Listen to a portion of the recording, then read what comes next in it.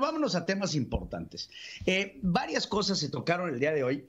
Eh, hoy eh, el presidente de la República, junto con Marcelo Ebrard Casao, nos dan a conocer que ya México tiene autorizada otra vacuna. Haciéndonos así, bueno, ya, ya tenemos tantas, tantas vacunas autorizadas que no hay vacunas suficientes. Hay más autorizaciones, hay más autorizaciones que, vacunas.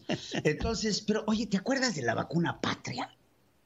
Bueno, y luego en algún momento se habló de ello, ¿no? No, hombre, hombre, el CONACYT se hizo todo un argüende de lo que iba a ser la vacuna patria. Que se estaba haciendo una investigación que llegaría a Feliz Puerto para que tuviera México la propuesta de una vacuna llamada Patria. Que después salió es que más, era gringa. Es más, por ahí había hasta una Patria 2 Ah, ya, de segunda.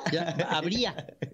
todo, es el terreno, todo es el terreno de la especulación. especulativo. Bueno, pues la vacuna patria, ni sus luces, no se acuerdan de la vacuna patria. Eso como un tema importante que había que resaltar ahora que tenemos ya la novena vacuna autorizada en nuestro país. Somos el país que ha autorizado todas las vacunas que se han producido absolutamente todas las tenemos autorizadas en México. Entonces, ahora sí que de lo que de lo que caiga. De lo pues, perdido, porque se han perdido. De, lo perdido que aparezca.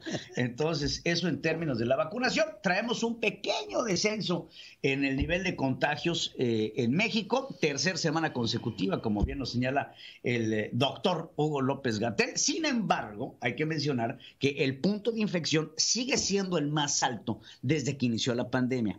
Que haya habido un descenso no quiere decir que estemos, bueno, estamos lejos de encontrar la luz en torno a lo que sucede con la pandemia. Ese es el segundo tema que se tocó hoy.